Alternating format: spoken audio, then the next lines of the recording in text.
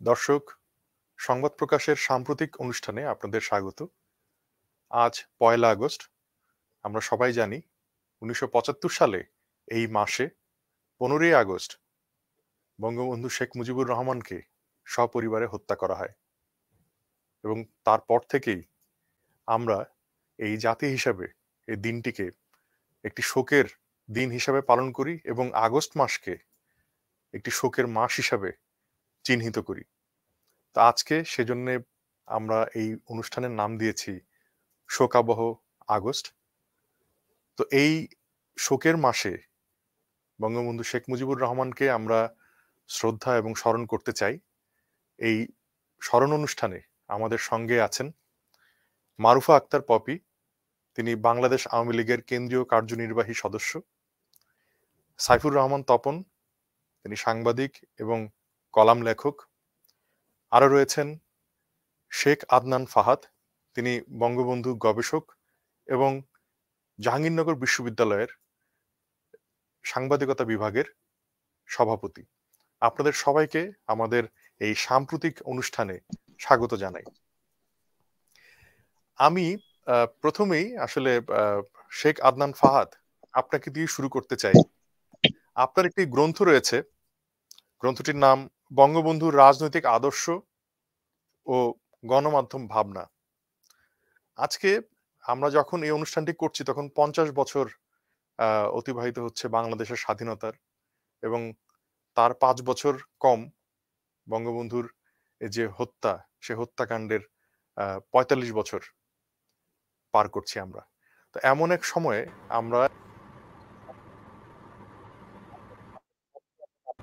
বঙ্গবন্ধুর রাজনৈতিক আদর্শ বলতে আসলে আপনি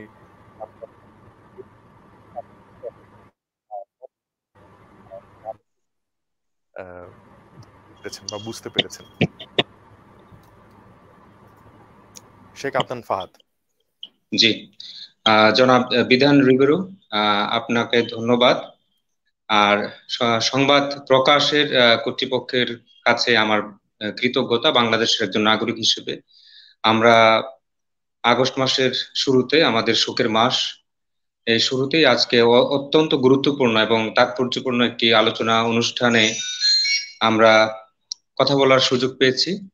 আমি আমার বক্তব্যের শুরুতেই আজকে যে দুজন অত্যন্ত গুণী আলোচক আছেন তাদের প্রতিও আমার কৃতজ্ঞতা রইল। আমরা আশা করছি একটা গুরুত্বপূর্ণ আলোচনাটিকে আমরা যাব। সবার আগে আমি আলোচনার শুরুতে সর্বকালের সর্বশ্রেষ্ঠ বাঙালি আমাদের বাংলাদেশের, আমাদের জাতির পিতা বঙ্গবন্ধু শেখ মুজিবুর রহমান এবং তার পরিবারের যারা শাহাদাত বরণ করেছিলেন উনিশশো পঁচাত্তর সালের পনেরোই আগস্ট, যাদেরকে নির্মমভাবে হত্যা করা হয়েছিল এবং মহান মুক্তিযুদ্ধের সমস্ত শহীদ সকলের সকল মুক্তিযোদ্ধা সবার প্রতি আমি আমার পক্ষ থেকে আমি গভীর শ্রদ্ধা বোধ জানাচ্ছি এবং কৃতজ্ঞতা প্রকাশ করছি। তাদের বদৌলতে আমরা স্বাধীন রাষ্ট্রের মালিক হয়েছি। জনাব বিধান রিবেরু, আপনি প্রথমে আমার একটি গ্রন্থের নাম উল্লেখ করেছেন। আমার একটা বই বের হয়েছিল, আমার পরম সৌভাগ্য যে আমি জাতির পিতাকে নিয়ে একটা গবেষণার ধর্মী একটা গ্রন্থ প্রকাশ করতে সক্ষম হয়েছিলাম। দু সালের করোনা আক্রমণের ঠিক আগে আগে, অর্থাৎ মুজিব বর্ষ শুরুর প্রাককালে আমার এই বইটি বের করেছিল শ্রাবণ প্রকাশনী। বইটির নাম ছিল বঙ্গবন্ধুর রাজনৈতিক আদর্শ ও গণমাধ্যম ভাবনা। সাংবাদিকতা এবং গণযোগাযোগের একজন গণযোগাযোগ এবং সাংবাদিকতা পরিবারের একজন সদস্য হিসেবে আমার প্রথমত মাথায় এসেছিল যে আমি একটি গবেষণা নিবন্ধ লিখব বঙ্গবন্ধুর গণমাধ্যম ভাবনা নিয়ে। এটা খুবই মৌলিক একটা চিন্তা বাংলাদেশে। আজ আমি ছাড়া আর কেউই বঙ্গবন্ধু আমাদের জাতির পিতার গণমাধ্যম ভাবনা বা তার প্রেস ফিলোসফি তার প্রেস থট তার গণমাধ্যম চিন্তা ভাবনা নিয়ে, দর্শন নিয়ে এর আগে কেউ কখনো কোনো গবেষণা ধর্মী কাজ বা কোনো কলাম, আহ কোনো রচনা ছিল না। তো আমি যখন ওনার গণমাধ্যম ভাবনার একটা স্বরূপ আবিষ্কার করার জন্য চেষ্টা শুরু করলাম, পড়ালেখা শুরু করলাম। তখন আমার কাছে মনে হলো গবেষক হিসেবে যে তার এই মহান রাজনীতিবিদের, রাজনৈতিক আদর্শটা আগে আমাদের আমার গবেষক সহ সবার সামনে পুরস্কার হওয়া উচিত। বঙ্গবন্ধুর রাজনৈতিক আদর্শের আদর্শের তালাশ করতে গিয়ে, অনুসন্ধান করতে গিয়ে আমি তাকে পেয়েছি একজন সোশ্যালিস্ট পলিটিশিয়ান হিসেবে, সমাজতান্ত্রিক রাজনীতিবিদ। যিনি কখনোই সচেতন ভাবে নিজেকে কমিউনিস্ট বলেননি। আমি একটা, এই প্রসঙ্গে একটা ঘটনা বলি যে পাকিস্তানের গভর্নর ছিলেন পাকিস্তানের গভর্নর একজন ছিলেন ওনার নামটা এই মুহূর্তে মনে পড়ছে না। উনি পাকিস্তান আমলে বঙ্গবন্ধুকে জিজ্ঞেস করেছিলেন যে আপনি কি কমিউনিস্ট? তখন বঙ্গবন্ধু খুব কৌশলে একটা উত্তর দিয়েছিলেন যে আমার রাজনৈতিক আমার আমার আমার যে রাজনৈতিক গুরু হুসেন শহীদ সোহরাওয়ার্দী, উনি যদি কমিউনিস্ট হন তাহলে আমি কমিউনিস্ট। আর উনি যদি কমিউনিস্ট না হন তাহলে আমি কমিউনিস্ট না। তো আমি আমাদের জাতির পিতার প্রায় শতাধিক উনার ভাষণ বক্তৃতা, বিবৃতি, পত্রিকার সংবাদ, এইগুলো স্টাডি করে আমি পেয়েছি তিনি যে আদর্শের রাজনীতি করেছেন সেটা হচ্ছে সোশ্যালিজম এবং বঙ্গবন্ধুর এমনও বক্তব্য আছে, স্বাধীন বাংলাদেশে, তিনি বলছেন যে আমি একটা ক্লাসলেস সোসাইটি প্রতিষ্ঠিত করতে চাই। তবে সেই ধাপে যাওয়ার আগে আমার প্রথম ধাপ হচ্ছে সোশ্যালিজম এটা বঙ্গবন্ধুর নিজের মুখের কথা। ফলে আবার আমরা যদি অসমাপ্ত আত্মজীবনী গ্রন্থের বিভিন্ন পাতায় উনি নিজেকে বর্ণনা করছেন এইভাবে যে আমি ধনতান্ত্রিক অর্থনৈতিক ব্যবস্থাকে আমি মনে প্রাণে ঘৃণা করি। মানে বঙ্গবন্ধু বলছেন, আমি তাকে কোট করছি এখানে তিনি বলছেন যে আমি পুঁজিতন্ত্রকে ঘৃণা করি। পুঁজিবাদ দিয়ে কখনোই মানুষের অর্থনৈতিক মুক্তি আসবে না। ফলে আমরা যদি ওনার আদর্শের একটা নাম দিতে চাই, তাহলে সেটা হবে মুজিববাদ, মুজিবিজম। আমরা যেরকম দেখি যে নায়ারিজম আছে বা নেহেরিজম আছে বা ভারতের জওয়াহরলাল নেহরু ওনার যে ইডিওলজি তাকে অনেকে বলে যে নেহেরিজম, অনেকে জুলিয়াস নায়ারে তার ইডিওলজিকে বলে নায়ারিজম। এইভাবে আমরা মুজিব ইজম বলতে পারি, মুজিববাদ বলতে পারি। এবং মুজিববাদ নিয়ে কিন্তু বই আছে। মুজিববাদের বিভিন্ন বৈশিষ্ট্য বঙ্গবন্ধু কি করতে চেয়েছেন তার রাজনৈতিক জীবনে। যেমন ওনার সর্বশেষ যে প্রচেষ্টা ছিল, বাকশাল বাংলাদেশ কৃষক শ্রমিক আওয়ামী লীগ উনিশশো চুয়াত্তর সাল থেকে শুরু করে তিনি যেটা করতে চেয়েছিলেন সেখানে কিন্তু পরতে পরতে উল্লেখ আছে যে তিনি কীভাবে বাংলাদেশকে নির্মাণ করতে চেয়েছিলেন। উনি মূলত বাংলাদেশকে একটি সমাজতান্ত্রিক রাষ্ট্র হিসেবে প্রতিষ্ঠিত করতে চেয়েছিলেন। তবে এখানে উল্লেখ্য যে তিনি গণতান্ত্রিক ব্যবস্থায় নির্বাচনী ব্যবস্থা হবে গণতান্ত্রিক আর অর্থনৈতিক ব্যবস্থা হবে সমাজতান্ত্রিক। এটা হচ্ছে মুজিববাদের মূল কথা। আমি মনে হয় কিছুটা বোঝাতে পেরেছি। সাম্যবাদী সাম্যবাদী অর্থনৈতিক আর নির্বাচনী ব্যবস্থা হবে গণতান্ত্রিক। এটা সংমিশ্রণ ঘটাতে চেয়েছিলেন তিনি কিন্তু তাকে হত্যা করা হয়েছে।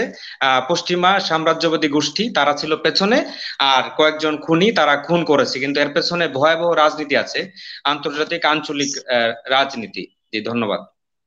জি আপনাকে অনেক ধন্যবাদ। সমাজতন্ত্র মানে আসলে সর্বোচ্চ গণতন্ত্রের চর্চাই বটে। তো সেই জায়গা থেকে বঙ্গবন্ধুর যে স্বপ্ন ছিল, সেই স্বপ্ন এবং আজকের যে বাংলাদেশ আমরা দেখছি, এই এমন এক বিস্তর জল আসলে গড়িয়ে গেছে এবং অনেক পরিবর্তন, পট পরিবর্তন হয়েছে। রাজনৈতিক মতাদর্শ যেই মতাদর্শ সত্তরের দশকে চর্চিত হতো বা ষাটের দশকে চর্চিত হতো, সেটি এখন আর ওইভাবে চর্চিত হয় না। কিন্তু তারপরও আমরা একটি আদর্শকে সামনে নিয়ে এগোতে হয়, কারণ এটাই ইতিহাসের শিক্ষা। আমি এই পর্যায়ে আমাদের সঙ্গে যুক্ত ছিলেন সাইফুর রহমান তপন। কিন্তু তিনি বোধহয় সংযোগ বিচ্ছিন্ন হয়ে গেছেন। আমরা, উনি যুক্ত হলে আবার ওনার কাছে আসব ওনার প্রশ্ন নিয়ে। কিন্তু যেই প্রসঙ্গটি শেখ আদনান ফাহাদ করছিলেন যে তিনি অর্থনৈতিক এবং সামাজিক এবং রাজনৈতিকভাবে যে উদার এবং সমতায় বিশ্বাসী মানুষ হিসাবে বঙ্গবন্ধু ভাবতেন যে একটি শ্রেণীহীন সমাজ গঠনের কথা। সাইফুর রহমান তপন যুক্ত হয়েছেন। আমি আপনি কি শুনতে পাচ্ছেন আমাকে? হ্যাঁ শুনতে পাচ্ছি। আপনার কাছে আমার প্রশ্ন আপনি নিশ্চয়ই শেখ আদনান ফাহাদের আলোচনা শুনেছেন। আপনার কাছে আমার প্রশ্ন যে বঙ্গবন্ধু ছিলেন একজন জাতীয় নেতা এবং জাতীয় মুক্তির পথ তিনি আমাদের ভ্যানগার্ড হয়ে প্রদর্শন করেছেন। তো অনেকেই সমালোচনা করেন যে জাতীয়তাবাদ হচ্ছে এক ধরনের ফ্যাসিবাদের প্রথম সোপান। কিন্তু লেনিনকে যদি স্মরণ করে বলি, জাতীয়তাবাদী আন্দোলন বা মুক্তি ছাড়া সত্যিকার মুক্তির পথ বা ওর মধ্য দিয়ে কিন্তু সমাজতন্ত্র প্রতিষ্ঠার একটা সুযোগ কিন্তু করে নিতে হয়। তো এই যে বঙ্গবন্ধুকে নিয়ে এই জাতীয়তাবাদী নেতা হিসেবে যে সমালোচনা করা হয় বা যেই দিকগুলো তুলে ধরা হয়, সেই বিষয়ে যদি আপনি আলোকপাত করেন, আপনি নিজেও ছাত্র রাজনীতি করেছেন এবং সক্রিয় রাজনীতি করেছেন, সেই আলোকে আপনার কাছে জানতে চাইব।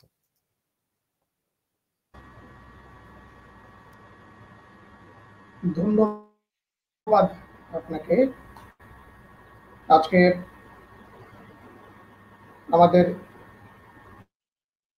শোকের মাস উপলক্ষে আমি সবাইকে শুভেচ্ছা জানাচ্ছি। আমি প্রথমেই সর্বকালের সর্বশ্রেষ্ঠ বাঙালি বঙ্গবন্ধু শেখ মুজিবুর রহমান এবং তার সাথে পনেরোই আগস্ট, উনিশশো পঁচাত্তর সালের পনেরোই আগস্ট যারা শহীদী মৃত্যুবরণ করেছেন, তাদেরকে শ্রদ্ধার সাথে স্মরণ করছে। এখন যে বিষয়টা আপনি বললেন, জাতীয়তাবাদের সাথে ফেসিবাদের যে সম্পর্কের কথা বলা হয় সেটা, এটা ঠিক। কারণ আমরা যখন বিশেষ করে দ্বিতীয় বিশ্বযুদ্ধের আগে আগে, যে জার্মানিতে, তারপর ইতালিতে, স্পেনে যে ফেসিবাদের উত্থান দেখেছি, তার প্রেক্ষাপটটা ছিল জাতীয়তাবাদ। অর্থাৎ একটা উগ্র জাতীয়তাবাদী স্লোগানের মধ্য দিয়েই এই ফেসিবাদের প্রেক্ষাপটটা রচনা করা হয়েছে।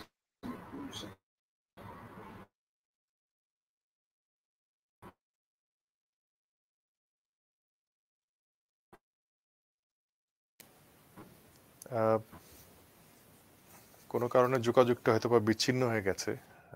আমরা আবার ফিরে এলে নিশ্চয়ই তাকে যুক্ত করব। এই মুহূর্তে আমি চলে যেতে চাই। এটা খেয়াল রাখতে হবে যে জাতীয়তাবাদের সাথে পেশিবাদের একটা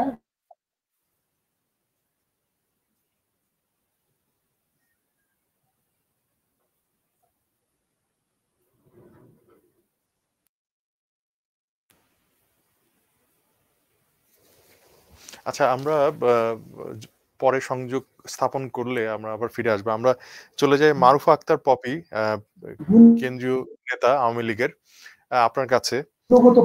আমরা আপাতত আপাতত ওই সংযোগটি আমরা পরবর্তী সময় আবার যুক্ত করব।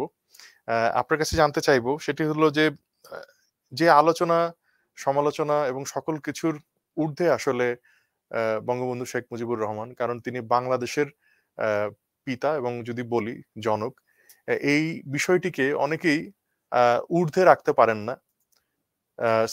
মানে আমি বলব স্থূল রাজনৈতিক যে তর্ক, বিতর্ক সেটার মধ্যে টেনে নিয়ে আসেন।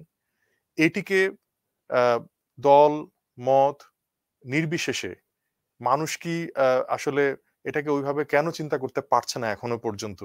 সেই মানে ফাঁকটা কোথায় থেকে যাচ্ছে? এটি আপনার কাছে আমার জানতে চাওয়া এই শোকাবহ মাসের প্রথম দিনটিতে। ধন্যবাদ। সম্মানিত সংবাদ প্রকাশের সম্মানিত উপস্থাপক বিধান রিবেরু, আমার সাথে যে দুজন আলোচক আমি পেয়েছি, শেখ আদনান ফাহাদ এবং সাইফুল ইসলাম তপন। তাদেরকেও আমি আজকে এই বঙ্গবন্ধুর মানে শহীদ হওয়ার মাসে এই আগস্টে বঙ্গবন্ধুকে নিয়ে আলোচনায় তারা অংশগ্রহণ করেছেন। আমি এই জন্য তাদের প্রতি ধন্যবাদ এবং কৃতজ্ঞতা জানাচ্ছি।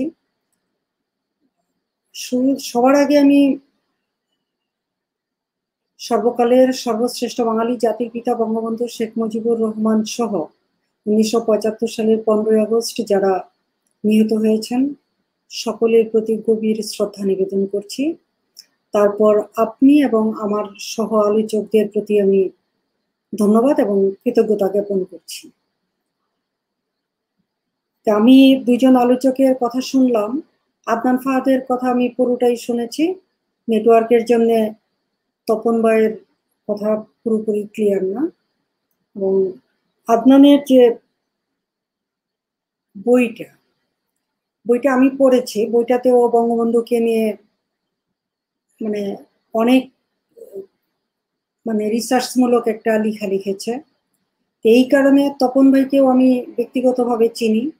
আমি মনে করব তারা আজকের এই তরুণ প্রজন্মের মানে প্রতিনিধি না। আমি মনে করব ওরা ওনারা তরুণ প্রজন্মের শুদ্ধ বিবেক। এবং সেই বিবেক দিয়ে ওনারা বাংলাদেশের রাজনীতি, বাংলাদেশের সামাজিক ব্যবস্থা, বিচার বিশ্লেষণ করার চেষ্টা করেন এবং নিজের মতো করে সেগুলো সামাজিক প্রেক্ষাপটে তুলে ধরার চেষ্টা করেন। এটা, আপনি যে জিনিসটা বলেছেন যে বঙ্গবন্ধুকে অনেকেই ধারণ করতে পারে না, এটা যার যার মানসিকতার বিষয় আর যারা বঙ্গবন্ধুকে ধারণ করতে পারে বা যারা বঙ্গবন্ধুকে চেনার চেষ্টা করেছে হ্যাঁ তারা, আমি মনে করি তারা বঙ্গবন্ধুকে অনেকেই চিনতে পেরেছে। আর আমাদের সামাজিক এবং রাজনৈতিক প্রেক্ষাপটে আমরা, আমাদের, আমরা যে সময়ে জন্ম নিয়েছি, যে সময়টা আমাদেরকে বঙ্গবন্ধুকে চেনার কথা ছিল, সে সময়টায় আমাদের বঙ্গবন্ধুকে যারা ষড়যন্ত্রমূলকভাবে বঙ্গবন্ধুকে যারা হত্যা করেছে, বিভিন্ন সময়ে তারা আমাদের এই প্রজন্ম থেকে বঙ্গবন্ধুকে আড়াল করার চেষ্টা করেছে, বঙ্গবন্ধুকে ইতিহাস থেকে মুছে ফেলার চেষ্টা করেছে, বাংলাদেশের শুদ্ধ ইতিহাস, বঙ্গবন্ধু এবং বাংলাদেশ এবং মুক্তিযুদ্ধের ইতিহাসকে তারা উল্টা দিকে প্রবাহিত করার চেষ্টা করেছে। যে এই কারণে নতুন প্রজন্মের কাছে বাংলাদেশ বাংলাদেশ সত্যিকারের ইতিহাস এবং বঙ্গবন্ধু অনেকটা অস্পষ্ট ছিল। আমি আশা করি যে নতুন প্রজন্মের অনেকেই, আদনান ফাহাদদের মতো অনেকেই যারা চেষ্টা করে, আজকের বঙ্গবন্ধু কন্যা দেশরত্ন শেখ হাসিনা বাংলাদেশের প্রধানমন্ত্রী হওয়ার পর বাংলাদেশের মানে আমি বলব বাংলাদেশের যে মানে কণ্ঠ বা বাংলাদেশের লোকজনের যে কথা বলার যে স্বাধীনতা, এই স্বাধীনতার পরিপ্রেক্ষিতে বাংলাদেশের ইতিহাস অনেকটাই মানে শুদ্ধ রাস্তা ধরে হাঁটছে। সেই সুবাদে আমরা অনেকেই বঙ্গবন্ধুকে অনেকটা আগের তুলনায় অনেকটা চিনতে পারছি, জানতে পারছি। আমি আশা করি আমাদের এই ব্যবস্থা বা এই পথ যদি সচল থাকে, তাহলে ইনশাল্লাহ বাংলাদেশের নতুন প্রজন্ম বঙ্গবন্ধুকে পুরোপুরি মানে চিনবে, জানবে এবং বঙ্গবন্ধুকে ধারণ করবে। এবং সেদিন ইনশাল্লাহ আমরা পুরোপুরিভাবেই দেশরত্ন শেখ হাসিনার নেতৃত্বে বঙ্গবন্ধুর স্বপ্নের সোনার বাংলা অবশ্যই আমরা প্রতিষ্ঠিত করতে পারব। আর যেদিন বাংলাদেশের বাংলা বঙ্গবন্ধুর স্বপ্নের সোনার বাংলা প্রতিষ্ঠিত হবে আমি মনে করি সেদিনই বঙ্গবন্ধু পুরোপুরিভাবে পুরোপুরিভাবে বাংলাদেশ, শুধু বাংলাদেশ না পৃথিবীর মাঝেই হয়তো বা বঙ্গবন্ধু মানে চিরঞ্জীব হয়ে যাবেন। আমি একটা প্রসঙ্গে একটু কথা বলতে চাই। বঙ্গবন্ধু যখন উনিশশো পঁচাত্তর সালে যখন বঙ্গবন্ধুকে হত্যা করা হলো, আদনান অবশ্য ওর কথায়, কথার মাঝে একটু বাকশালের বিষয়টা নিয়ে আসছে। যে বঙ্গবন্ধু তো আসলে অনেকেই বলে বঙ্গবন্ধুর বাকশালের যে কথাটা মানে বাকশালের যে গঠনটা, এটা মানে আমরা অনেকেই ধারণ করতে পারি না বলে এটা নিয়ে অনেকেই অনেক রকমের কথাবার্তা বলে।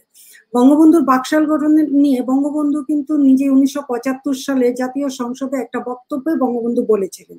একটি অসাধারণ মানে উনি একটা বক্তব্য করেছিলেন, আমি একটু কোট করছি। কোট আওয়ামী লীগ একটি মাল্টি ক্লাস পার্টি আমি তার নামের আগে কৃষক শ্রমিক লাগিয়েছি বইকি কিন্তু দলটির চরিত্র এখনও বদলাতে পারিনি। রাতারাতি তা সম্ভব নয়।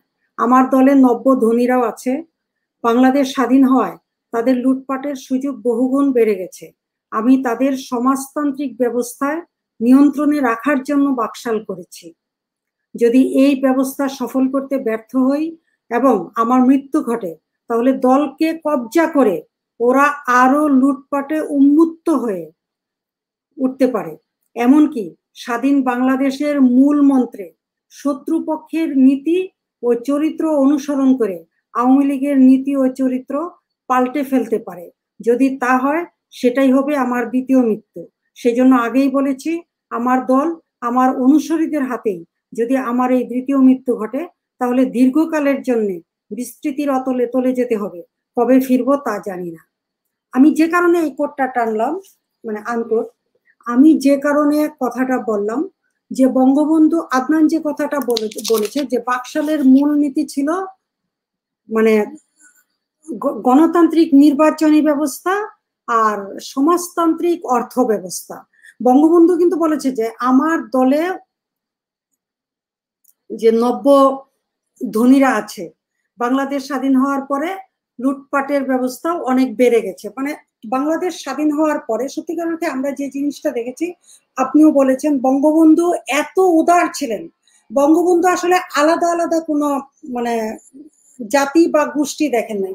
বঙ্গবন্ধু পুরা পঞ্চান্ন হাজার বাংলাদেশ এবং বাংলাদেশের জনগণকে একটা পরিবার মনে করেছিলেন। এবং এই পরিবারটাকে, অর্থাৎ বাংলাদেশটাকে উনি একটা সিস্টেমের মাঝে একটা নিয়মতন্ত্রের মধ্যে আনতে চেয়েছিলেন। সেইখানে ইভেন মানে কার ভিতরে কি আছে না আছে সব কিছু বাদ দিয়ে উনি ভেবেছিলেন যে পুরাটাই, পুরা বাংলাদেশটাই আওয়ামী লীগের নেতৃত্বে বাংলাদেশটা স্বাধীন হয়েছে। বঙ্গবন্ধু মানে আওয়ামী লীগ এবং বাংলাদেশ এবং বাংলাদেশের জনগণ সবাইকে একটা পরিবার ভেবে উনি একটা সুষ্ঠু ব্যবস্থা এবং মানে একটা ব্যবস্থা স্থাপন করতে চেয়েছিলেন।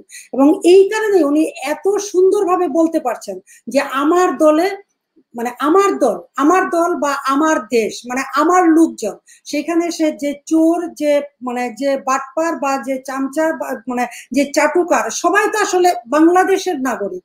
সেই সুবাদে বঙ্গবন্ধু একটা সুষ্ঠু ব্যবস্থার জন্য বলেছিল যে আমি ওদেরকে নিয়ন্ত্রণে রাখার জন্য বাকশাল করেছি। অর্থাৎ অর্থাৎ এই যে সম্পদের যে সমাজ যে আদনান যে কথাটা বলল, যে সমাজতান্ত্রিক অর্থনৈতিক ব্যবস্থা।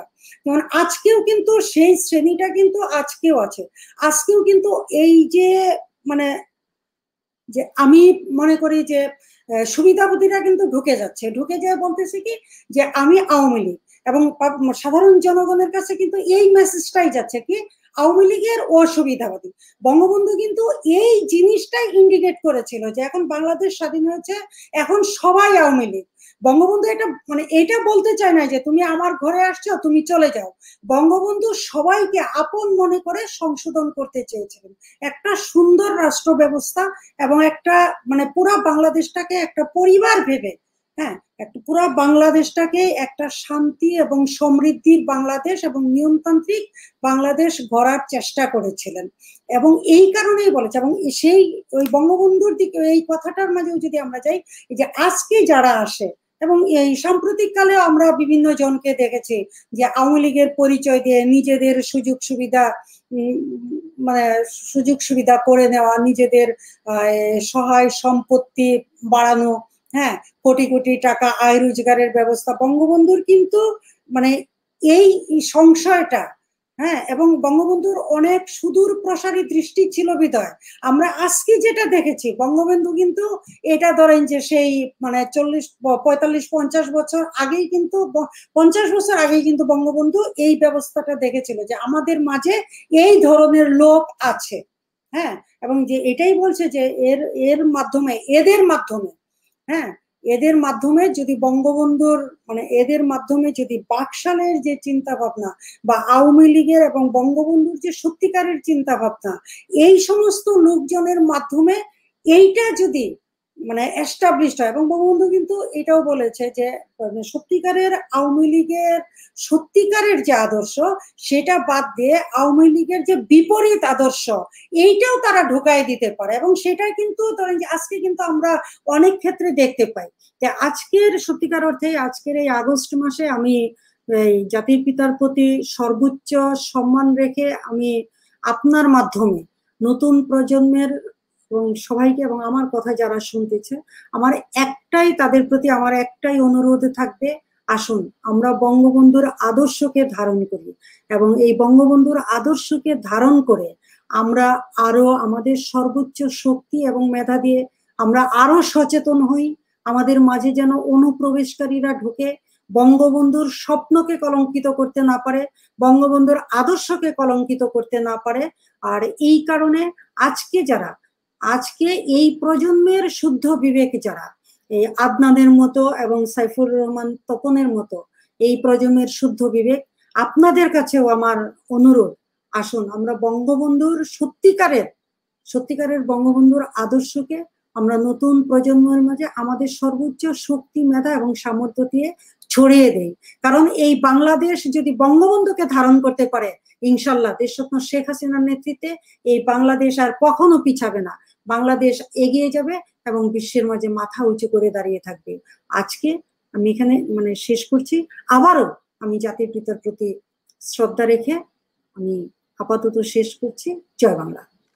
জি ধন্যবাদ আপনাকে। আপনি সঠিকভাবে বলছিলেন, আমরা সাম্প্রতিক যে সমস্ত উদাহরণ দেখছি যে সব কিছুর পেছনেই লিগ লাগিয়ে তারপর এক এক ধরনের যে স্বার্থ উদ্ধারের চেষ্টা বা কোটারি ভিত্তিক যে স্বার্থান্বেষী মহল, এই মহলের দৌরাত্ম বাংলাদেশে যেভাবে বেড়েছে, এটা নিয়ে কিন্তু মানুষ আমি বলব যে কিছুটা হতাশই বটে। এবং আপনি ঠিকই বলেছেন, এই লুটেরা এবং নব্য ধনী এবং যারা সবসময় আসলে সুযোগ সন্ধানী থাকে, যে কোনো সময় তারা সুযোগ সন্ধান করে নিজেদের আখের গোছাতে চায়, সেরকম যে শ্রেণির শ্রেণীহীন সমাজের কথা বঙ্গবন্ধু শেখ মুজিবুর রহমান বলেছেন এবং স্বপ্ন দেখেছিলেন, সেটা কিন্তু উনি ভবিষ্যৎ দ্রষ্টার মতোই আবার বলেছিলেন যে এই ধরনের ঘটনা ঘটতে পারে এবং যেহেতু রাজনীতি একটি বিজ্ঞানও বটে, সেহেতু এটা বোঝা যাচ্ছিল যে এরকম ঘটনা ঘটতে পারে। যেহেতু বাংলাদেশের অনেক চড়াই উতরাই দিয়ে মুক্তিযুদ্ধ আমরা অর্জন করেছি বটে, কিন্তু যেই শ্রেণীটি রয়ে গিয়েছিল সেই সেখান থেকে কিন্তু এই শঙ্কা একটা আমার মনে হয়, কাজ করছিল সেই সময়। তো সাইফুর রহমান তপন আমাদের সাথে যুক্ত হয়েছেন। আমরা আলাপ করছিলাম যে জাতীয়তাবাদী যে আন্দোলন সেই আন্দোলনের ভেতর দিয়েও যে সমাজতন্ত্রের কথা বারবার বলা হচ্ছিল, শোষণ মুক্তির কথা বলা হচ্ছিল সামাজিক ন্যায় বিচারের কথা বলা হচ্ছিল, তারপর আমরা যদি বলি যে, অর্থনৈতিক যে সুষম বন্টনের কথা আমরা ভাবছিলাম মুক্তিযুদ্ধের সময়, সেই বিষয়গুলো কিন্তু জাতীয় আন্দোলনের, জাতীয় মুক্তির আন্দোলনের ভেতর দিয়ে কিন্তু অর্জন করা সম্ভব ছিল। কিন্তু সেটাও কিন্তু আমরা দেখলাম সমালোচনা কণ্টকিত। তো এইটা নিয়ে আপনি আলাপ করছিলেন যদি আপনার আলাপটা চালিয়ে যেতেন। সাইফুর রহমান, তপন। আচ্ছা আমি দুঃখিত যে মানে আমার এখানে আসলে ইন্টারনেটের ঝামেলার কারণে এই সমস্যাটা হয়েছে। তো আমি যে কথাটা বলছিলাম, ফলে কথাটা এখন সংক্ষেপেই বলতে হবে। সেটা হলো যে জাতীয়তাবাদ বাদের সাথে ফেসিবাদের একটা গুণগত পার্থক্য আছে, সেটা। এবং এই জাতীয়তাবাদও কিন্তু মানব সমাজের বিকাশের একটা পর্যায়ে তার উদ্ভব সেটা। এবং মানুষের প্রয়োজনেই তার উদ্ভব। এবং আমরা দেখেছি যে এই যে জাতীয়তাবাদী আবেগ, এই জাতীয়তাবাদী আবেগ কিন্তু মানুষকে একটা জায়গায় স্থিত করেছে।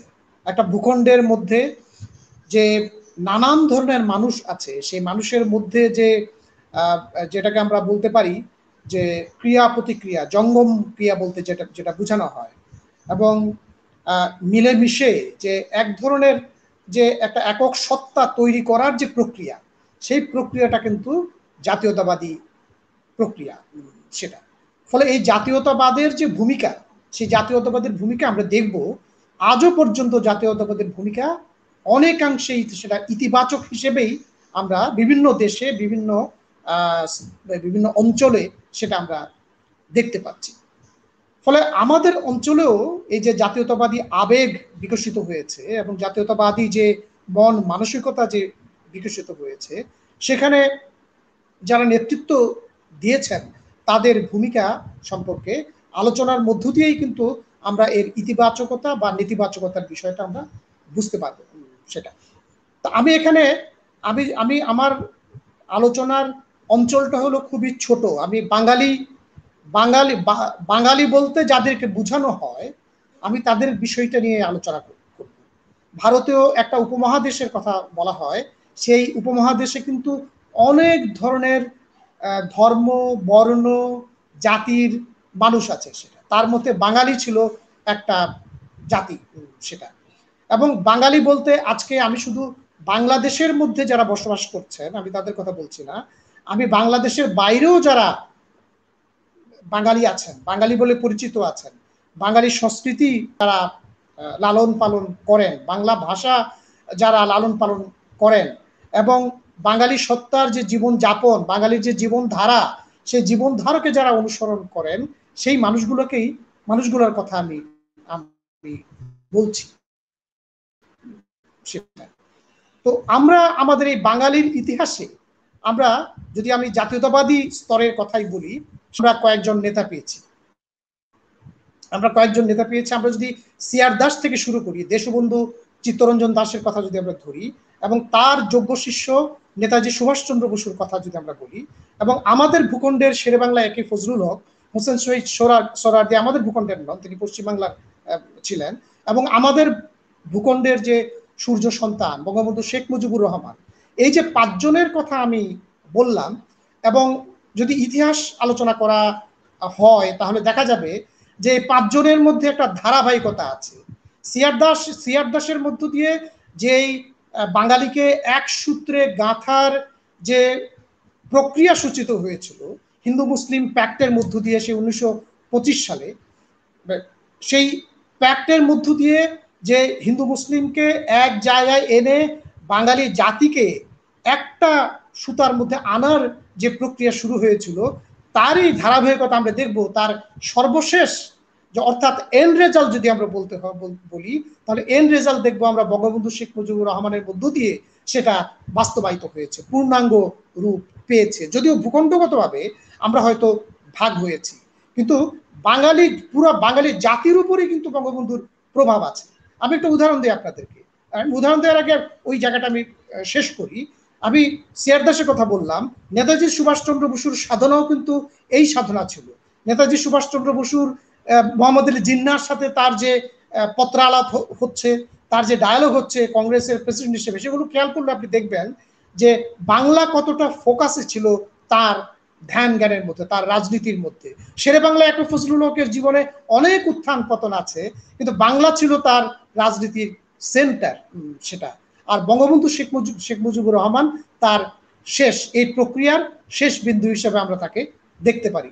বঙ্গবন্ধু শেখ মুজিবুর রহমানের প্রভাবের কথা যদি আমরা আলোচনা করি, দেখবেন, আমি যে কারণে বললাম, ভূখণ্ডগতভাবে আমরা আলাদা হয়েছি, পশ্চিমবঙ্গ, পূর্ববঙ্গ আলাদা হয়েছে, কিংবা আমাদের বাইরেও ত্রিপুরাতে বাঙালিরা আছে, বা আরও বিশ্বের বহু জায়গায় বাঙালিরা ছড়িয়ে ছিটিয়ে আছে, কিন্তু বঙ্গবন্ধুর প্রভাব কিন্তু বাংলাদেশের মধ্যে সীমাবদ্ধ নয়। পশ্চিমবঙ্গের ইলেকশনের দিকে আপনি খেয়াল করুন। এবার মমতা বন্দ্যোপাধ্যায় জিতলেন এক বঙ্গবন্ধুর উপর দিয়েই কিন্তু অনেকটা জিতেছেন। ওনাদের ইন্টারনাল অনেক ফ্যাক্টর আছে, নিশ্চয়ই। কিন্তু মমতা বন্দ্যোপাধ্যায় বঙ্গবন্ধুকে যেভাবে ব্যবহার করেছেন, যে তিনি বলেছেন, প্রথমত তিনি জয় বাংলা স্লোগানটাকে আবার খুব হাইলাইট করেছেন। বিজেপির তরফ থেকে বারবার বলার চেষ্টা করা হয়েছে। এ তো বাংলাদেশের মুজিবুর রহমানের স্লোগান। তাহলে তোমরা কি বাংলাদেশ বানাতে চাও? মানুষ কিন্তু বিজেপির কথায় কান দেয়নি। মানুষকে মানুষকে কিন্তু এই জয় বাংলা স্লোগান সেখানকার পশ্চিমবঙ্গের সাধারণ বাঙালিদেরকে আপ্লুত করেছে। এবং শুধু তাই নয়, মমতা বন্দ্যোপাধ্যায়ের একাধিক বক্তব্য আমি শুনেছি। তিনি বলেছেন যে, যদি বিজেপি ক্ষমতায় আসে, হয়তো আমাকে বঙ্গবন্ধুর মতো জেলে যেতে হবে। বঙ্গবন্ধুর মতো জেলে গেলেও আমি বলব বাঙালি আমার আমার প্রাণ। ফলে বাঙালি, বাঙালির উপরে যে আমাদের বাংলাদেশ ভূখণ্ডের বাইরেও বঙ্গবন্ধুর প্রভাব যে ফলগু ধারার মতো প্রবাহিত হচ্ছে, সেটা হলো এর একটা রিফ্লেকশন বা পশ্চিমবঙ্গের ইলেকশন এর একটা রিফ্লেকশন আপনি ত্রিপুরাতে গেলেও কিন্তু বাঙালিদের মধ্যে এই প্রভাবটা দেখতে পাবেন। ফলে আমি যেটা বলতে চাচ্ছি, যে আমাদের যে বাঙালি জাতীয়তাবাদী আন্দোলন সে বাঙালি জাতীয়তাবাদী আন্দোলনের সর্বশেষ মানুষটা সর্বশেষ মানুষটা আমি এই অর্থে বলছি, আমাদের স্বাধীনতা, স্বাধীনতার অর্থে, স্বাধীন ভূখণ্ড পাওয়ার অর্থে আমি কথাটা কথাটা বলছি, হলেন বঙ্গবন্ধু শেখ মুজিবুর, শেখ শেখ মুজিবুর রহমান।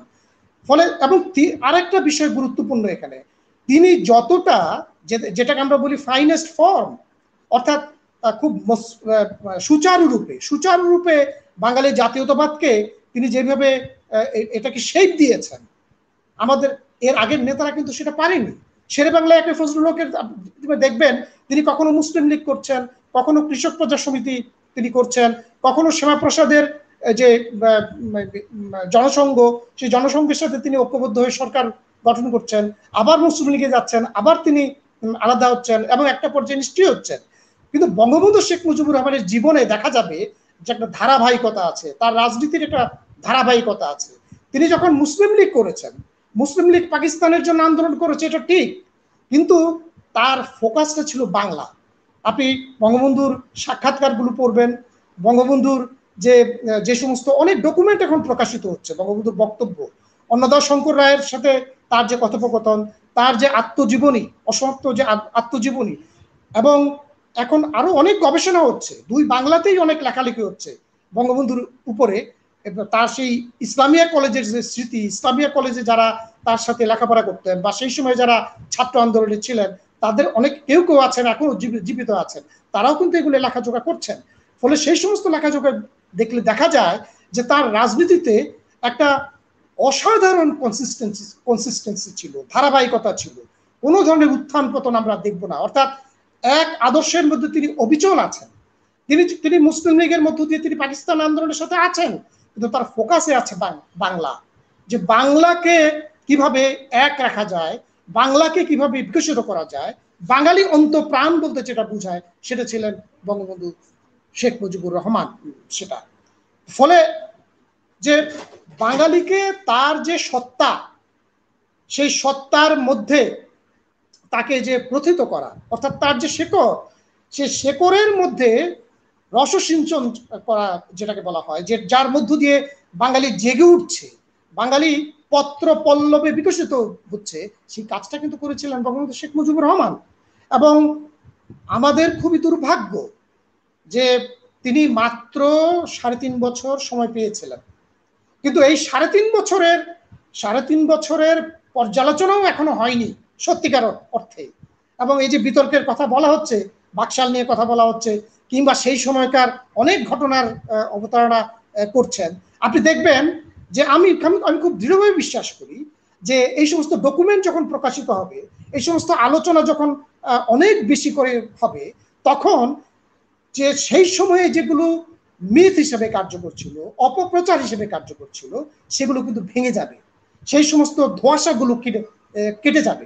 কারণ আমি ছোট্ট করে একটু বলি যে আপনি দেখবেন আজকে যখন আমাদের যে রাষ্ট্রনায়ক রাষ্ট্রনায়ক দেশরত্ন শেখ হাসিনা, তিনি যখন রাষ্ট্র বিনির্মাণ করছেন, তিনি যখন প্রত্যেকটা সেক্টরে যখন তিনি একটা সিদ্ধান্ত নিচ্ছেন, আমরা দেখছি সেই সিদ্ধান্তের গোড়ায় আছে বঙ্গবন্ধুর একটা পদক্ষেপ সেখানে আছে। তিনি যখন ডিফেন্সে ডিফেন্সকে আধুনিকায়ন করতে যাচ্ছেন, তখন ডিফেন্স পলিসির ক্ষেত্রে তিনি দেখছেন সেখানে বঙ্গবন্ধু তার ফাউন্ডেশনটা গড়ে দিয়ে গেছেন, তার নীতিমালাটা তিনি তৈরি করে দিয়ে গেছেন। আমরা যখন জ্বালানি সেক্টরের কথা বলি জ্বালানি সেক্টর আজকে বাংলাদেশে অনেক বেশি বিকশিত, আজকে বিদ্যুৎ সেক্টর অনেক বেশি বিকশিত। সেই সেক্টরের সূত্রপাত যে, একটা জাতীয়তাবাদী যে ভিত্তি, সে ভিত্তি কিন্তু তৈরি করে দিয়েছিলেন বঙ্গবন্ধু শেখ মুজিবুর রহমান। এইভাবে প্রত্যেকটা জায়গায়, এবং হিন্দু মুসলমান যে ঐক্যের কথা আমরা আজকে বলি, হিন্দু মুসলমান ঐক্য বঙ্গবন্ধু প্রাণপাত করেছেন। তিনি যখন কলকাতায় ছিলেন, তখন যেমন হিন্দু মুসলমান ঐক্যের জন্য তিনি সর্বোচ্চ ত্যাগ স্বীকারে রাজি ছিলেন যখন বাংলাদেশ হয়েছে, তখনও কিন্তু তিনি এই আদর্শের মধ্যেই অবিচল ছিলেন। আমরা যে যে আইনটা বঙ্গবন্ধু কন্যা শেখ হাসিনার মধ্য দিয়ে, শেখ হাসিনার হাত দিয়ে যেটা আজকে বাস্তবায়িত হচ্ছে, ওর পিছনে, ওর মানে যেটা বলা হচ্ছে দু হাজার সালে যেটা পাশ হয়েছে, যে অর্পিত সম্পত্তি প্রত্যর্পণ আইন সম্ভবত, আইনটার নাম যেটা একসময় ছিল শত্রু সম্পত্তি আইন। সেই শত্রু সম্পত্তি আইনকে বঙ্গবন্ধু এখানে স্থগিত করেছিলেন। তিনি যদি আর সময় পেতেন, সময় পেলে সময় পেলে এটা আমি নিশ্চিত যে এই জায়গাটাতে যেটা হিন্দু সম্পত্তি যে দখল হয়েছে আমাদের এখানে, যে কারণে হিন্দু কমিউনিটির মধ্যে একটা প্রচণ্ড দুঃখবোধ আছে। অনেক মানুষ এখান থেকে দেশান্তরিত হয়ে গেছে। তিনি কিন্তু এটার একটা সংশোধন করতেন। কারণ তার পথ ধরেই কিন্তু বঙ্গবন্ধু কন্যা দু হাজার সালে এই যে অর্পিত সম্পত্তি প্রত্যর্পণ আইন তিনি করেছেন, যেটা এখন বাস্তবায়িত হচ্ছে।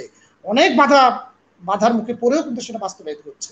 তাহলে আমি যেটা বলতে চাচ্ছি সেটা হলো যে বঙ্গবন্ধুর ধ্যানে, জ্ঞানে সব কিছুর মধ্যেই ছিল বাঙালি। বাঙালি জাতীয়তাবাদের তিনি ছিলেন প্রাণ পুরুষ এবং বাঙালি জাতীয়তাবাদের যে সর্বোত্তম প্রকাশ, সে সর্বোত্তম প্রকাশ আমরা তার মধ্য দিয়ে দেখে দেখে, দেখেছিলাম। ফলে তিনি যদি সময় পেতেন, তাকে যদি স্বাভাবিক সময় যদি তাকে দেয়া হতো, তাহলে আমরা নির্দ্বিধায় বলতে পারি যে আমাদের যে আরাধ্য আরাধ্য যে দেশ, আরাধ্য যে রাষ্ট্র, আরাধ্য যে সমাজ, যে যে বাঙালি জাতিসত্তাকে, সত্তার যে বিকাশের স্বপ্ন আমরা দেখি, সেটা কিন্তু সম্ভব হতো। এবং আজকে আমি এটা বলতে চাই যে বঙ্গবন্ধু কন্যা শেখ হাসিনার বিভিন্ন পদক্ষেপের মধ্য দিয়ে, তিনিও কিন্তু এই বাঙালি যে জাতিসত্তা, বা সেই বাঙালি জাতিসত্তাকে বিকশিত করার কাজেই তিনি কিন্তু তার সমস্ত কিছু নিবেদিত। হতে পারে, প্রশ্ন হতে পারে যে বাংলা তো বিভক্ত, পশ্চিমবঙ্গ বা কিংবা ত্রিপুরা, কিন্তু দেখবেন আপনি, আমি বলছি, তিনি যে সমস্ত পদক্ষেপ নিচ্ছেন, শুধুমাত্র বাংলাদেশের মানুষের এখানে অর্থনৈতিক উন্নয়ন করতে হবে, শুধু সেই ক্ষেত্রে নয়। তিনি কূটনৈতিকভাবে যে সমস্ত পদক্ষেপ নিচ্ছেন, ভারতের সাথে সম্পর্ক স্বাভাবিক করার ক্ষেত্রে, যেহেতু ভারতের সাথেই আমাদের সমস্যাটা অনেক বেশি, স্বাভাবিক করার ক্ষেত্রে তিনি যে সমস্ত পদক্ষেপ নিয়েছেন, আমি খুব দৃঢ়ভাবে বিশ্বাস করি। এটার মধ্য দিয়ে বাঙালির মধ্যে, বাঙালি যেখানে আছে, বলা হয়ে থাকে তিরিশ কোটির উপরে বাঙালি, সারা পৃথিবীতে ছড়িয়ে ছিটিয়ে আছে। এই বাঙালির মধ্যে কিন্তু একটা সাংস্কৃতিক ঐক্য তৈরি হবে। ভূখণ্ডগত ঐক্য হবে না কিন্তু সাংস্কৃতিক ঐক্য তৈরি হবে। সেই সাংস্কৃতিক ঐক্য তৈরি হওয়ার মধ্য দিয়েই আমরা মনে করি যে সেই যে এই যে ডিএল রায় যে গান গিয়েছিলেন ডিএল রায় যে গান গিয়েছিলেন যে ধনধান্যে পুষ্পে ভরা আমাদের এই বসুন বসুন্ধরা সেই স্বপ্নের দেশ স্বপ্নের সমাজ আমরা তৈরি করতে পারি জি আমরাও সেটা মনে করি। আমি আমরাও সেটা মনে করি যে আসলে আমাদের সবার ভাবনাতে একটাই বিষয়, সেটা হচ্ছে বাংলাদেশ সার্বভৌমত্ব এবং আমাদের যে রাষ্ট্র, রাষ্ট্রের একটি সুখী, সমৃদ্ধ জনপদ। যে জনপদের স্বপ্ন বঙ্গবন্ধু দেখেছিলেন এবং সভাপতি আরও অন্য যারা মুক্তিযুদ্ধে শহীদ হয়েছিলেন এবং মুক্তিযুদ্ধে যারা বীর হয়েছিলেন এবং যারা মুক্তিযুদ্ধ করে এখনও বেঁচে আছেন মুক্তিযোদ্ধা, তারা তাদের সকলেরই একটি স্বপ্ন ছিল বাংলাদেশ নতুন রাষ্ট্র হিসেবে একটি শ্রেণীহীন এবং এখানে বৈষম্যহীন একটি সমাজ প্রতিষ্ঠিত হবে এবং সেখানে তারা তাদের যে গণতান্ত্রিক চর্চা সেই চর্চা তারা করে যেতে পারবেন। আপনাদের এই সকলকে আমাদের এই অনুষ্ঠানে যুক্ত হওয়ার জন্য অসংখ্য ধন্যবাদ জানাই। মারুফা আক্তার পপি, সাইফুর রহমান তপন, শেখ আদনান ফাহাদ, আপনারা যে বঙ্গবন্ধুর বাংলা কেন্দ্রিক জাতীয়তাবাদ এবং তার রাজনৈতিক ভাবনা এবং সকল কিছুর ঊর্ধ্বে উঠে বঙ্গবন্ধুর যে চিন্তা এবং রাজনৈতিক আদর্শকে তুলে ধরা দরকার, এই বক্তব্যগুলো পেশ করেছেন। আশা করি আমরা সেই আপনাদের মাধ্যমে, আমাদের দর্শকদেরও এই বক্তব্যগুলো পৌঁছে দিতে পেরেছি। সবাইকে শুভরাত্রি জানিয়ে শেষ করছি আমাদের আজকের অনুষ্ঠান। সকলে ভালো থাকবেন, সুস্থ থাকবেন।